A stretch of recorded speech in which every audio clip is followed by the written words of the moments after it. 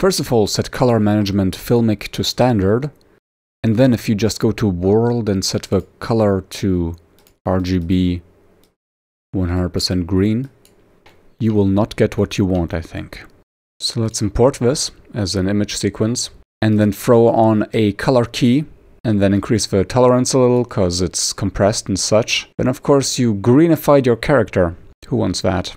And if you use something more advanced like Ultra Key, it just messes up and darkens everything. The solution is to not change the background in this way. So set the color back to dark gray, I suppose. And instead go to shading. In the top left here, select World. Add a mix shader, Shift A, click Search, Mix Shader enter and click it here in this line. It'll be added automatically. Then duplicate the background node, click it, Shift D, move it a little, connect it to the second shader input of a mix shader and change the color to fully green with the RGB values and fully alpha.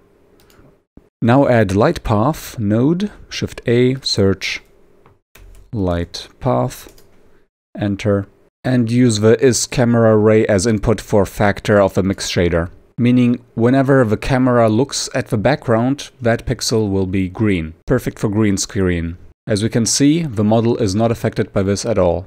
And we can continue to affect it using the other background node. Double checking settings, FFmpeg video, MPEG 4, H264. Let's fire it up. Alright, here it is. 3.26 megabytes and this at 4K resolution. At the same time, this footage over here, nearly a gigabyte, 830 megabytes. Alright, let's start with color key. Picking green, kind of works already. Increase color tolerance, increase edge feather, edge thin. Well, it's workable, I suppose. But Ultra Key is much better for this. Here we are. Now you might want to tell me, hey, you don't need to do this, you can just render transparent background videos with QuickTime and Qt animation, which is totally true. I just have to go to uh, render, go to film, enable transparent, and render it. Oh wait, this is not transparent video, I forgot to enable RGBA here. So let's render it again.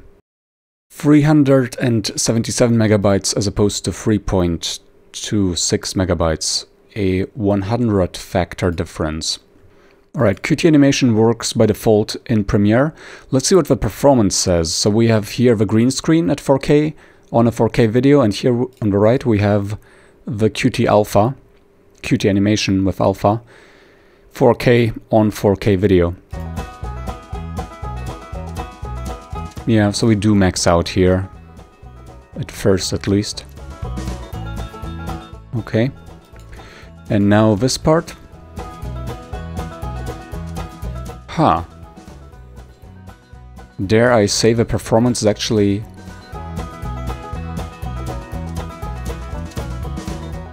Did it just freeze? Um, okay, now the performance is worse. W what? Well, this very scientific test, I think, shows that... What the heck? Now it's just getting worse in general. Playback performance is so freaking hard to measure. Okay, let's go. I press space. It's been a while. Okay. Okay. Okay, laggy. Annoying. Okay. Alright, so that was uh, not a great experience, but hey, this is 4K video, and transparency in 4K? That's not what my computer was built for. Okay, let's do this part. Wow, wow, look at this lag. Wow, oh my goodness, so it's both horrible. I intentionally use 4K because I thought, oh, maybe uh, it's better for seeing the difference.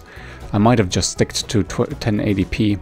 My feeling, my scientific feeling tells me that uh, Qt animation performs a little worse than green screen. But for sure, green screen uh, just allows for compression, which you cannot achieve with direct in-video alpha while having compatibility. There is no compression in Qt animation. The only format that has compression and transparency is VP9 in WebM, which is not supported by anything except for Shotcut and Kdenlive so far. Not even Blender supports it, even though it can render it. So using Qt animation with transparency in Blender is super easy. You just need to connect the alpha input basically as for using green screen videos in materials, I only found Yog Yog's project, and I'm afraid it definitely is not perfect if you compare to using Qt animation. Much nicer edges here.